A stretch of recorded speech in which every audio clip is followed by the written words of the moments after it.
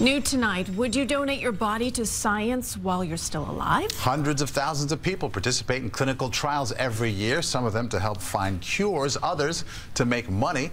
And now CBS 2 with what some are calling human guinea pigs. Despite the way it appears, these people don't have anything wrong with them. They're actually all volunteering to take part in experimental clinical trials, testing a number of new drugs. New drugs often get tested for first in human safety purposes, not to see if they cure anybody, just to see if they have any side effects. Companies hire people to do that. Hire people like Stephen Turner, who's earned nearly $7,000 acting as a human guinea pig. A friend of a friend told me it was a quick way to pick up some cash. Depending on the trial, testers can make anywhere from a couple hundred dollars to a few thousand. But to ensure results are not undermined, the rules are strict. Some trials are live in, and participants' interaction with the outside world is limited.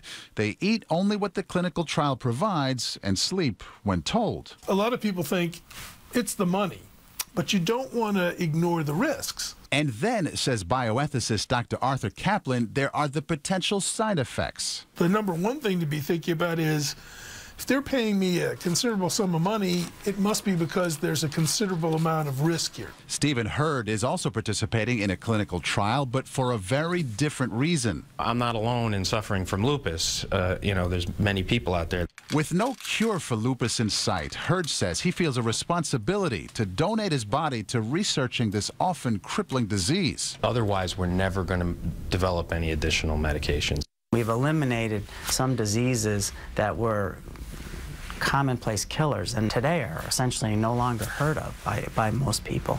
And this is the result of clinical experimentation, clinical trials. But there are countless more to be cured, says Dr. Kevin Tracey, president of the Feinstein Institute for Medical Research in Manhasset. He says a lack of participants is the number one hindrance to progress. Without the participation of the of the people in the clinical trials, some of the best ideas, they will stay ideas. And for anybody interested in getting involved in a clinical trial, there's a website that lists thousands of options closely monitored by the Food and Drug Administration. And for a link, you can go to our website, cbsnewyork.com.